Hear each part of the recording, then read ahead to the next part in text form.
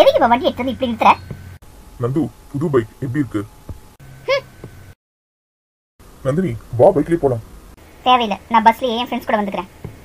வா நந்தினி புது பைக் உனக்காக தான் வாங்கினேன். நீ அந்த பஸ்ல இடிப்பட்டு நசுங்கி போகிறது எனக்கு சுத்தமா பிடிக்கல. வா போலாம். இதை பாரு ரமேஷ் நான் தினமும் கார்லயே போகலாம். இருந்தாலும் என் ஃப்ரெண்ட்ஸ் கூட பஸ்ல போகத்தான் பிடிச்சிருக்கு. உன் கூட பைக்லாம் வர முடியாது. கிளம்பிங்கிறது வா நந்தினி.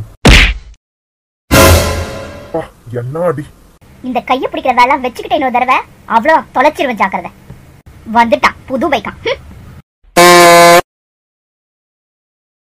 கையை பிடிச்சதுக்காடி என்ன அடிச்சுட்டு போற? காலம் பூரா உன் கையை நான் தான் பிடிப்பேன்.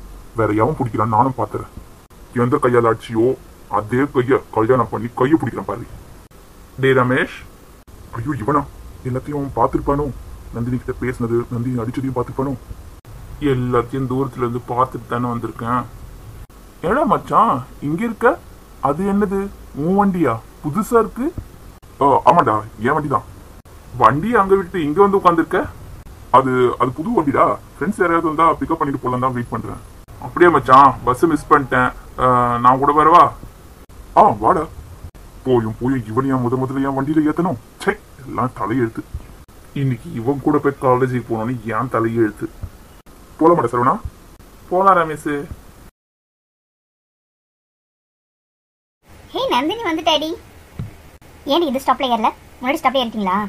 ஆமாண்டி பிந்து ஏதோ வாங்கன்னு சொல்லி வர சொல்லியிருந்தா. அதனால தான் இதுக்கு முன் ஸ்டாப்லயே போய் ஏறிட்டோம். அதை என்கிட்ட சொல்ல மாட்டீங்களா? ஏன் நந்து? என்ன ஆச்சு? ஒன்றும் இல்லை. ஏன் நந்தினி ஒரு மாதிரியா இருக்கா? என்னை திரும்பி கூட பார்க்கல. என் மேல எதனா கோவமா அவளுக்கு? பஸ்ல ஏறது முதல்ல என்ன தானே தேடுவா? என்னை பார்க்காம ஒரு நாள் கூட இருந்தது இல்ல என்ன திரும்பி கூட பார்க்கல நந்தினி டே மச்சான் நீங்களே கொஞ்சம் போயிட்டு நான் நந்தினி கிட்ட கொஞ்சம் பேசிட்டு வரேன். அப்படியாடா? Okay okay. ராதா நீ போயிட்டே இதை வந்துடுறேன் ம் ஓகேடி கொஞ்சம் சீக்கிரமா வந்து சேரு. டைம் ஆயிடுச்சு கிளாஸ்க்கு சொல்லுங்க சிவா. ஏன் நந்தினி ஒரு மாதிரி இருக்க? பஸ்ல ஏறினதுல இருந்தே பாக்குறேன். உன் முகம் சரியே இல்லையே. என்னாச்சு? என்ன பிரச்சனையா? அது அதெல்லாம் ஒன்றும் இல்லை சிவா. கொஞ்சம் தலைவலி. அவ்வளோதான் வேற ஒன்றும் இல்லை. உண்மையதான் சொல்றியா? ஆமாம் சிவா. கிளாஸ் டைம் ஆச்சு. நான் வரேன்.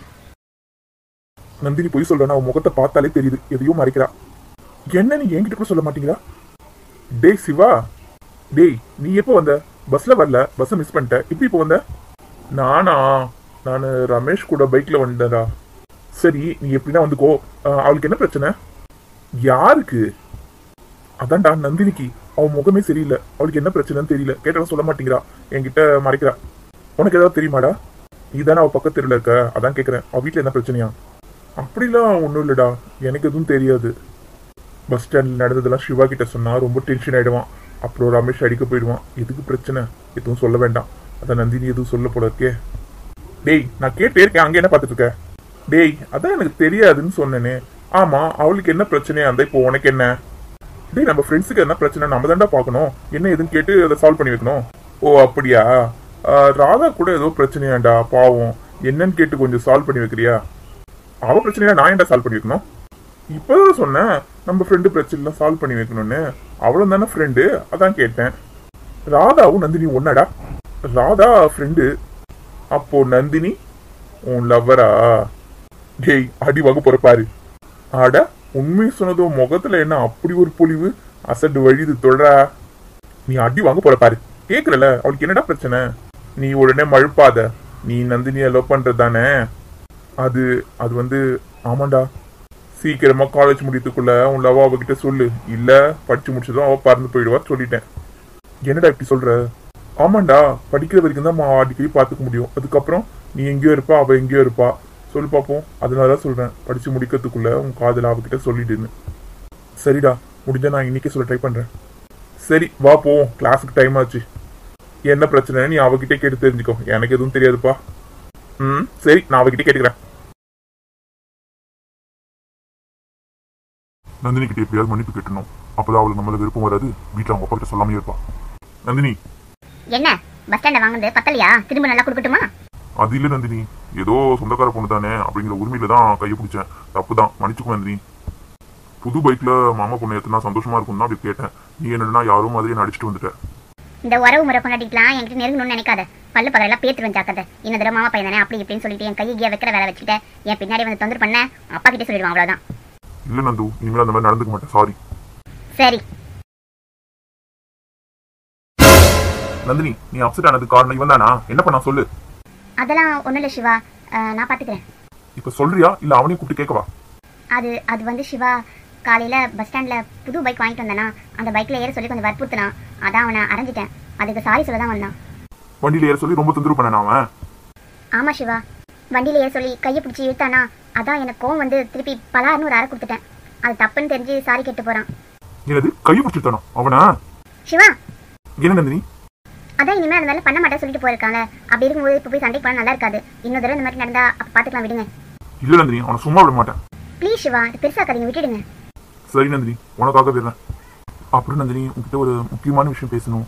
சாயந்தரம் காஃபி ஷாப் போறியா காஃபி ஷாப்க்கா சரி சிவா வரேன். நீ மட்டும் வா நந்தினி. உன் ஃப்ரெண்ட்ஸ் பட்டாளத்தெல்லாம் கூட்டிட்டு வந்துடாத. ஏன்? அவங்களாம் கூட்டிகிட்டு வந்தா காஃபி வாங்கி தர மாட்டீங்களா? ஐயோ உங்ககிட்ட தனியா பேசணும்னு சொல்றல. முக்கியமான விஷயம் ப்ளீஸ் ஞாபகமா வந்துரு. மறந்துடாத. ம். ம்னா? வரேன் சிவா. என்னடா? என்ன சொல்ற நந்தினி? ஈவினிங் காஃபி ஷாப் வர சொன்னடா வரேன்னு சொல்லியிருக்கா. நல்ல வேலை செஞ்ச காஃபி ஷாப்லயே அப்படியே உன் காதலியும் சொல்லிடு.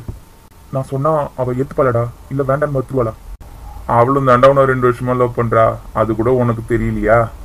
அவளுக்கும் என்ன பிடிச்சிருக்கு? அவளும் என்ன காதலிக்கலாம் தெரியும்டா. இருந்தாலும் நான் சொல்லும்போது உடனே அக்செப்ட் பண்ணிப்பாளா இல்ல மறுத்துருவாளான்னு தெரியல. கண்டிப்பா ஏத்துப்பா. நீ ஏன் கவலைப்படுற? சரிடா நீ சொன்னா கரெக்டா தான் இருக்கும். சரி டைம் ஆச்சு வா போலாம். சொர்ணமாலா? சொர்ணமாலா? எதுக்கு இப்படி வரும்போதே அழைக்கிட்டே வரீங்க? அது ஒண்ணும் இல்ல. இன்னைக்கு வர வழியில உன்ன மாதிரியே ஒரு பொண்ணை பார்த்தேன். என்ன மாதிரியே ஒரு பொண்ணு பாத்தீங்களா எப்படி? நல்லா அழகா இருந்தாளா?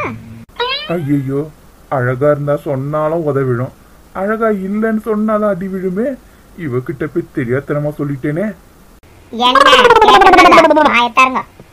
அது அது உன்ன மாதிரி இருந்தா சொன்னல அப்ப நல்லா தானே இருப்பா?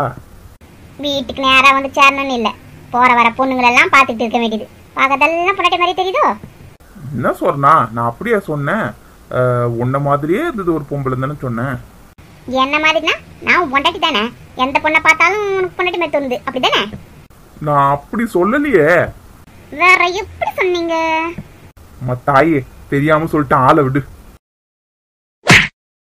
அது எப்படி விட முடியும்? இந்த கண்ணாடி போட்ட கண்ணை வச்சுட்டு போற வர பொண்ணெல்லாம் என்ன மாதிரி இருக்குது எங்க அம்மா மாதிரி இருக்குன்னு சொல்ல வேண்டியது இல்ல. உள்ள வா. உனக்கு ரெண்டு கண்ணு இல்ல. நாலு கண்ணு ஆகிக்கிறேன் பாரு இப்போ. ஏற்கனவே நாலு கண்ணா. அதை ஆறு கண்ணு ஆகிறவா